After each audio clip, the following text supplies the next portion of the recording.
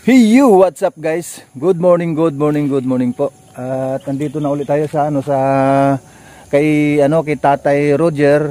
Kaya nga lang wala pa sila Nanay Conchita. Andun pa rin po sila sa ah, labo at na, baka may pro- nagka-problema na siguro. Kaya ayun, kaya hindi pa muna sila nakauwi. At ito nga, atin naman yung ah, grocery na ating ah, binili kahapon bigas at saka at iba pa grocery at saka sardinas. Saka meron pa rin uh, pansit canton na aking ah, binili na rin para sa kanila ito lahat ang ating pinamili.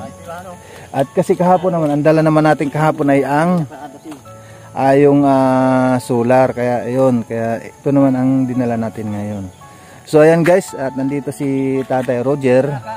Yun, at dadalhin natin na ito sa kanilang ah, bahay kubo. Kung makikita nyo lang guys, ano mga ka, ah, ka beehives, ang kanilang ah, bahay kubo ay tulda lang po ang bubong at ang dingding. So ayan guys, tunghayan po natin ang kanilang ah, bahay so, at dadalhin na rin natin ang kanilang ah, ah, grocery at bigas. So ayan guys, tara. Dalhin natin po doon sa kanyang ah, bahay kubo. At yun nga po yung kanilang bahay. Yung ano niya ito yung po yun. Yung yung bahay ko po, yung bahay kubo po ni ah, Tatay Roger ay yung tulda at saka dingding ang kanyang bubong tulda at ang kanyang ano tulda rin dingding at saka bubong so ayan at ang ang pamumuhay dito nila tatay at ang kanyang asawa at si nanay Conchita at ang kanyang mga anak ay pag-uuling lang po. Dito po ang kanilang ah, sitwasyon dito. Kung makikita niyo po ang kanilang bahay tutulda lang po ang ano. At ito na po ang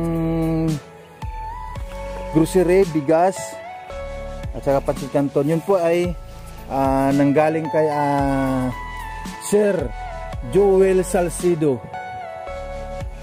Kay Sir Joel Sal- Salcido po yan tayo nanggaling yung ah, grocery at saka bigas na pinadala sa atin.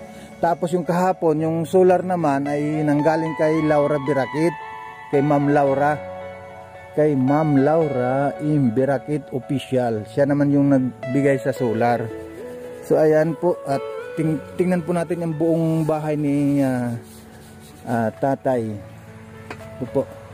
Kung ito po nakikita niyo po, tulda lang po yan. Yung tulda ang kanyang bubong. At yung sahig din naman po ayan.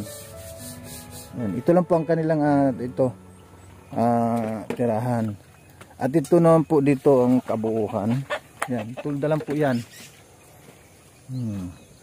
At dito nga po eh pinayagan sila dito ng may-ari ng lupa na Doon ka makuhaan. Oo, oo, po. Mayroon ka agad, oo, may maulam ka agad. Eh pag wala, eh, siyempre ba, pupunta ka pa, alam pupunta ka pa ng palengke or saan man may mayroong tinda. Ito, yun na nga, dinala, dinala ko na ngayon. Hmm. Tanga. Oh, sige. One, two, three, go! Please like, and subscribe and share the YouTube channel of Jose Andrino Vlog. And click the notification bell. Don't forget that and click the notification bell. Okay, thank you. Ah, gagaya ko na si Please don't forget to like and subscribe of Jose Andrino Vlog. And don't forget to click the notification bell to subscribe. Dahil na Thank kami nakasunod. Thank you, thank you, thank you.